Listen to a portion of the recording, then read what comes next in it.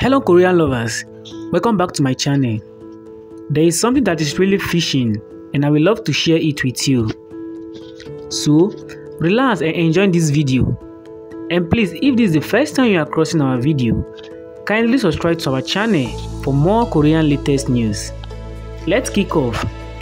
It is no secret that Lim Ji-hoon is credibly proud of Yoona and her recent success, and now he is making it known to the world. He's been gushing about her accomplishments and is thrilling to see her doing so well. This is definitely the power couple we have been waiting for. What do you think guys? Do you think Lee Junho is not hiding something from fans? Kindly drop your thought in the comment section. I will upload a video that cover everything you need to know about their relationship. We'll explore what Lee Junho has been saying about Yoona and how much he appreciates her. So, if you don't want to miss the next video, kindly subscribe to my channel for more Korean latest news. Thanks for watching and stay tuned for me.